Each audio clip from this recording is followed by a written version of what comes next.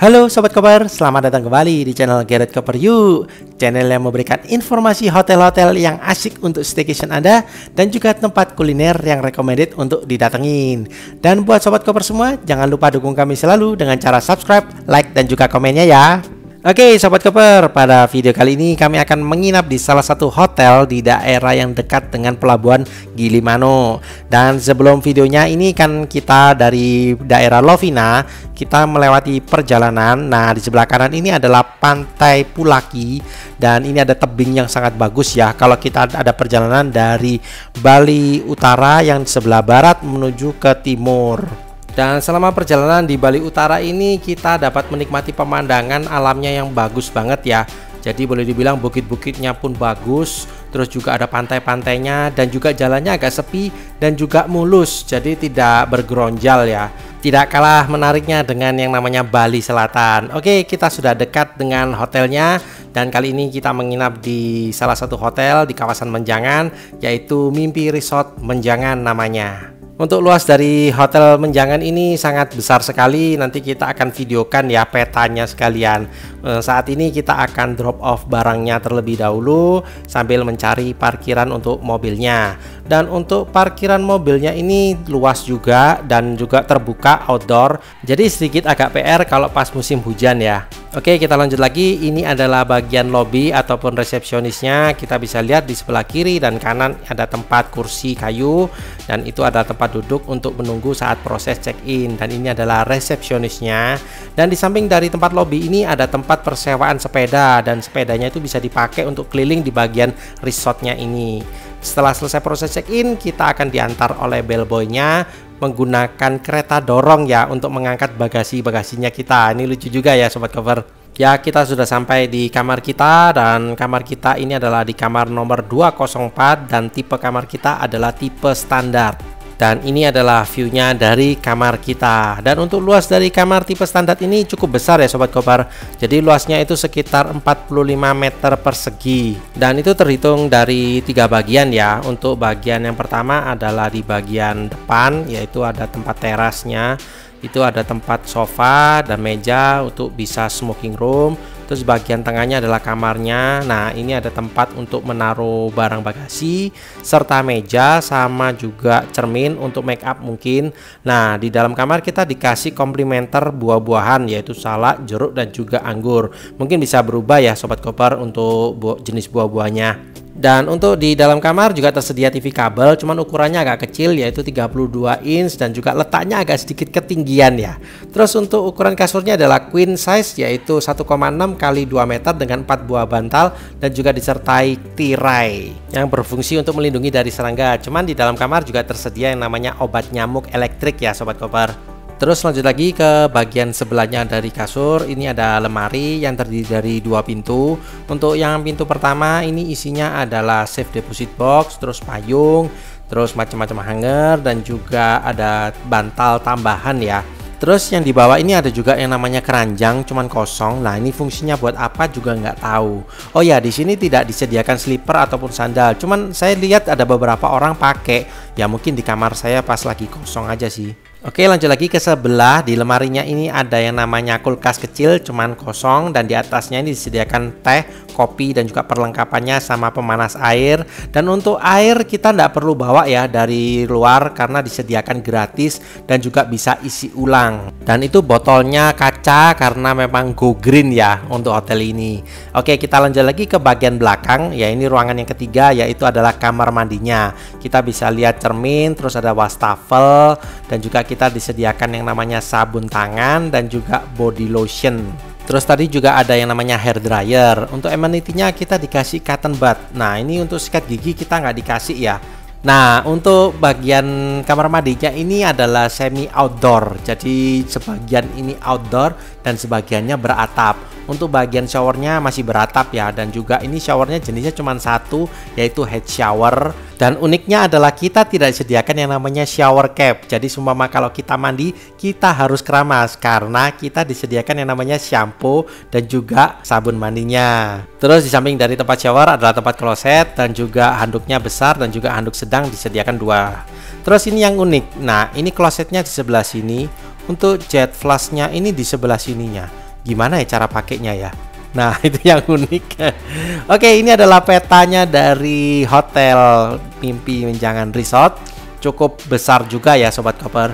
Nah, untuk petanya ini tidak dikasih ya. Jadi kita waktu di resepsionisnya ini suruh video ataupun foto saja. Oke, kita akan explore ya untuk mimpi menjangan ini dan salah satunya yang paling bertemu pertama kali adalah tempat isi ulang dari air minumnya.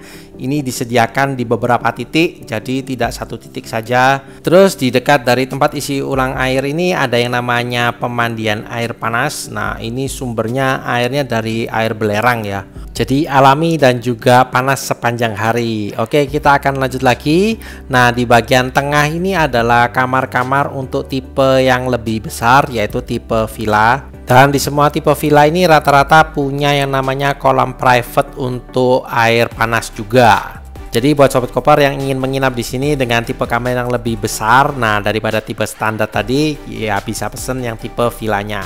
Dan di balik belakang dari tipe kamar villa tadi ini, kita bisa menemukan yang namanya kolam renang utamanya untuk jumlah kolam renangnya di Hotel Mimpi Menjangan ini ada dua, jadi yang satu adalah di bagian tengah dan yang satunya di bagian belakang dekat dengan laguna. Dan untuk yang kolam renang yang di bagian tengah ini tidak air panas ya, jadi dia air dingin dan untuk kedalamannya ini adalah 1,4 dan juga bagian tengahnya adalah 2,3 meter. Terus di dekat dengan namanya kolam renang garden poolnya tadi ini bagian tengah, nah ini ada yang namanya gazebo. Nah itu bisa dipakai untuk duduk-duduk santai ataupun ya rebahan juga bisa itu. Oke, kita akan lanjut lagi ke bagian belakang, lebih ke belakang lagi. Nah, untuk di bagian belakangnya dari ini kita bisa ketemu dengan taman yang besar dan kita bisa ketemu dengan yang namanya kerang. Wah, itu tadi satu keluarga ini ya. Jadi ada anakannya juga. Oke, untuk uh, kerannya yang di sini tidak mengganggu ya. Jadi kalau sumpama sobat koper jangan takut dan juga kita nggak perlu mengganggu mereka karena kita punya habitat sendiri, mereka juga punya habitat sendiri. Dan ini adalah playground untuk anak-anak di sebelah kanannya ini. Terus ada juga yang namanya ruang musik. Nah, ini ada alat-alat musiknya juga di bagian dalamnya ini. Kita bisa pakai juga. Terus ada ruang kelas menyelam dan juga gift shop dan juga di sini tersedia juga yang namanya library ataupun perpustakaan. Kita bisa baca buku gratis juga. Terus juga sobat koper yang ingin merelaksasikan diri. Nah, ini ada juga mimpi spa untuk tempat spanya ini dibuka seperti biasa, normal, cuman dibatasin aja untuk pelanggannya. Cuman kita kemarin lupa ya untuk video eh, harga-harga uh, dan juga servisnya apa saja. Oke, kita lanjut lagi ke bagian agak belakang lagi, yaitu mau melihat yang namanya hot spring. Nah, untuk hot springnya ini ada tiga kolam, dua kolam di bagian belakang dan juga satu kolam di bagian tengah yang dekat dengan kamar. Untuk kolam air panasnya ini juga berasal dari air belerang asli dari alam jadi bukan air yang dipanaskan ya. Terus untuk kolamnya ada dua jenis. Nah, ini kolam yang agak besar dan juga kolam yang agak kecil. Nah, buat sobat koper yang habis melakukan perjalanan jauh, nah ini bisa berendam air panas di sini pasti badannya pun enak banget ya. Capek-capeknya langsung hilang. Oke lanjut lagi ke bagian agak belakang lagi yaitu di sebelahnya dari kolam air panas ada juga kolam renang lagi. Dan ini kolam renang yang utama kedua ya. Jadi dekat dengan lagunanya ataupun namanya adalah Mimpi Beach Pool. Nah ini untuk kedalamannya mulai dari 1,1 meter sampai 2,4 meter Nah, yang bingung ini adalah kolam renang anak-anak. Nah, ini di mana ini? Nah, sebenarnya di sampingnya dari kolam renang yang di beach pool ini, cuman kecil sekali ya untuk kolam renang anak-anaknya. Dan ini adalah view dari kolam renang beach poolnya dari areal videonya ya. Terus kita lanjut lagi ke bagian sampingnya. Ini ada tempat untuk diving ataupun menyelam. Jadi kalau semua sobat koper ingin menyelam bisa langsung ya menuju ke sini untuk atur jadwalnya. Tapi itu tidak gratis, itu alias berbayar sendiri ya. Terus kita lanjut lagi ke bagian paling belakang. Nah, di bagian paling belakang ini kita bisa menemukan yang namanya kano. Nah, kita bisa pakai kano ini untuk sepuasnya, terserah. Nah, ini kanonya memang gratis, kita bisa pakai. Terus juga kita bisa bertemu dengan yang namanya restorannya. Untuk tempat restorannya ini juga dipakai waktu kita breakfast ya untuk pagi harinya. Cuman sayangnya waktu kemarin kita nggak ambil breakfast karena kita akan lanjut untuk perjalanan menuju ke balik ke Jawa ya dan dihitung-hitung selisihnya untuk breakfast sih agak mahal ya.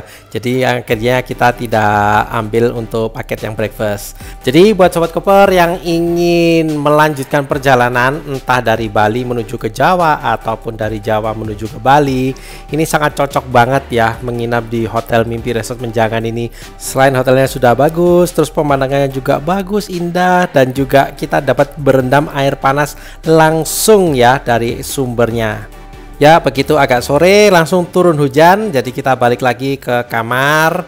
Kita ya langsung stay ya di kamar karena hujan terus mengguyur. Dan ini adalah buku menu yang tersedia di restorannya Mimpi Resort Menjangan. Untuk harganya agak sedikit mahal juga sih menurut kami. Jadi kita bawa bontot dari makanan luar karena di sini tidak ada ojol ya. Terus ini adalah pencahayaan di waktu malam hari agak sedikit kurang, cuman ya tidak masalah sih. Kalau mungkin buat baca-baca mungkin agak kurang ya. Terus untuk pencahayaan di bagian kamar mandi tidak juga terlalu gelap, jadi cukup lumayan ya untuk bagian penerangannya. Oke, ini adalah di waktu pagi harinya dan di pagi harinya kita tidak terlalu lama-lama juga. Kita harus siap-siap untuk melanjutkan perjalanan lagi balik ke pulau Jawanya.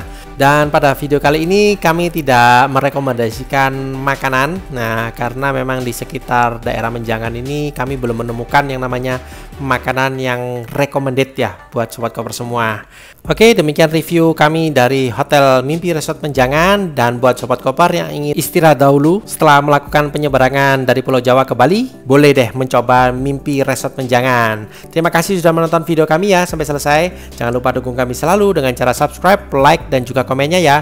Sampai jumpa di video selanjutnya ya Sobat Koper. Bye-bye.